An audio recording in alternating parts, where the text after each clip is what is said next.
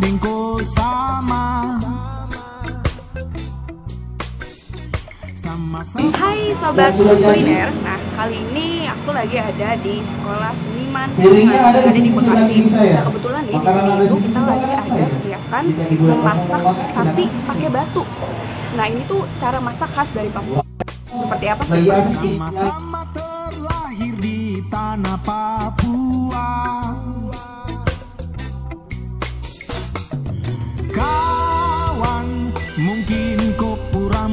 Keriting Atau kopu kulit tara hitam Kodeng sak cinta Papua Kegiatan hari ini adalah memperkenalkan bagaimana gastronomi Papua atau pola makan Papua atau rasa Papua ditunjukkan kepada masyarakat Indonesia lain dengan cara melakukan prosesing memasak secara tradisional atau bagian dari tradisi memasak masyarakat Papua yang kita coba memperkenalkan ke masyarakat Indonesia lain.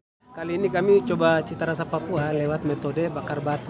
Dan bakar batu kami ada dua cara, yaitu bakar batu dari di dalam tanah dengan di atas tanah. Bakar batu kita punya metode membakar batu kurang lebih sekitar 2 sampai 3 jam.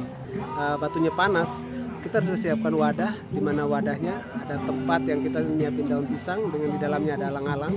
Di situ kita akan taruh batu, di dalam batu di atasnya kita naruh daun pisang, setelah daun pisang umbi-umbian setelah umbi-umbian di atasnya kita taruh batu sayuran eh, daun sayuran. Setelah sayuran di atasnya kita taruh batu batu daun di atasnya kita taruh uh, ikan.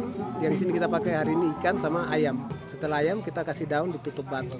Selalu diikat dengan kuat sehingga udaranya tidak keluar. Jadi proses memasaknya kurang lebih 35 menit sampai satu jam.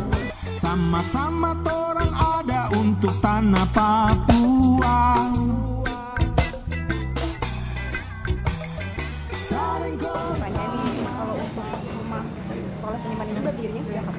Eh, kita beroperasi dari tahun lalu, eh, tahun 2017. Oke. Kalau boleh tahu kenapa mendirikan?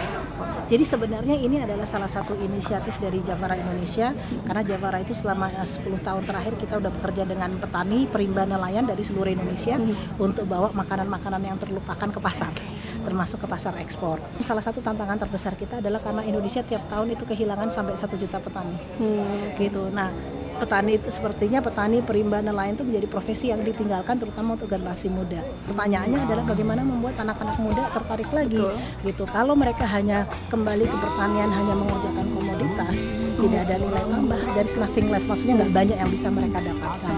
Nah, sehingga kita berpikir bahwa mereka harus dilatih untuk menjadi food entrepreneur. Jadi istilahnya mereka diperkenalkan pada konsep produk dan jasa uh, menjadi entrepreneur desa gitu kan yang melahirkan produk-produk yang keren uh, apa namanya farm tourism yang keren gitu. Oke. Kalau untuk kurikulumnya sendiri tuh secara garis besar apa aja di sini? Nah, kita uh, ada tiga. Uh, yang pertama adalah terkait dengan creative farming.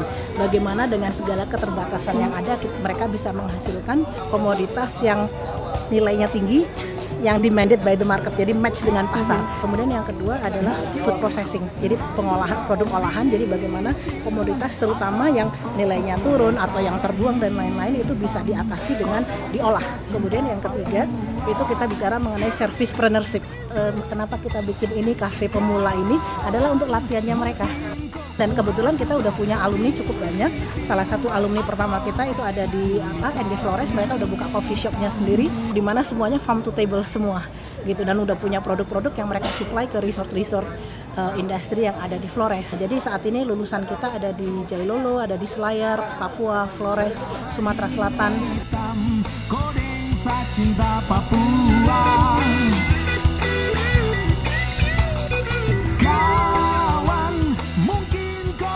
sobat kuliner, tadi kan kita udah lihat nih semua proses masak khas Papua yang menggunakan medium batu. Tadi kita udah masak daging, terus juga udah masak ikan sampai ayam.